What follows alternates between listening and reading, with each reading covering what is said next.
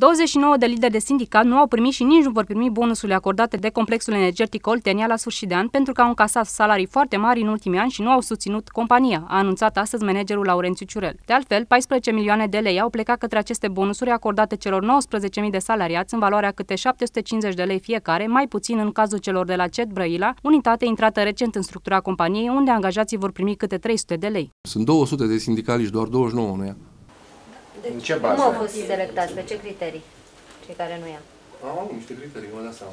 O bază legală, spuneți-ne și nouă. Da, bază legală. Deci baza legală, aceasta nu este primă de Crăciun, asta este bază pentru uh, este primă pentru aportul adus de fiecare uh, fiecare angajat la activitatea și la rezultatele care zic eu că sunt bune în contextul anului 2013 la rezultatele companiei. Și ați evaluat pe toți 19.000 și ăștia 29 au picat. Da. Când ați făcut evaluarea asta? Ei, valoarea asta o fac de la 1 ianuarie.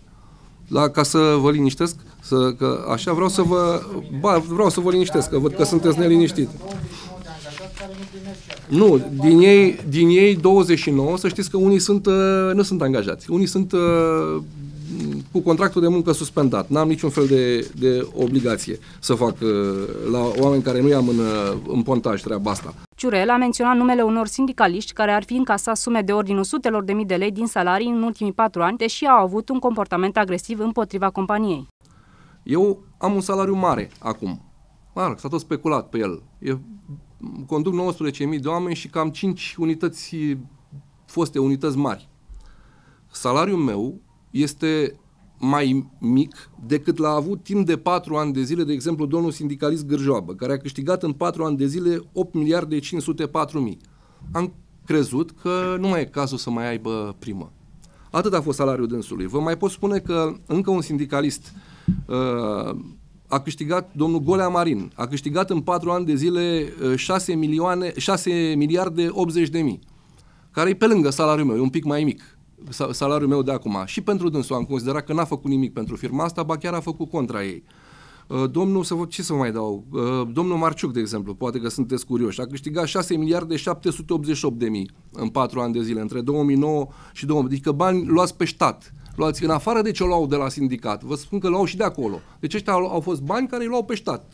Ăstea probabil că ar trebui să le regăsiți în niște declarații de avere la dânsii, dacă uh, pot, uh, pot să vă mai dau multe exemple. Geamănu Vasile, 5 miliarde 860. Nu știu cine este dânsul. Nici n-am auzit de dânsul, nici ca sindicalist n-am auzit de dânsul. L-am găsit doar pe hârtie. Nu i-am dat nici dânsului primă. Sunt uh, inspector social. Uh, pot uh, Tatomir Toma are mari dificultăți în a face o cerere de, de concediu. Are 5 miliarde 286 în, în 4 ani. Ciurel a menționat că nu există nicio șansă ca respectivii să primească primele în cauză, managerul CEO, nefăcându-și de altfel nici probleme că sindicaliștii lezați se vor adresa instanței de judecată pentru recuperarea acestei bonificații.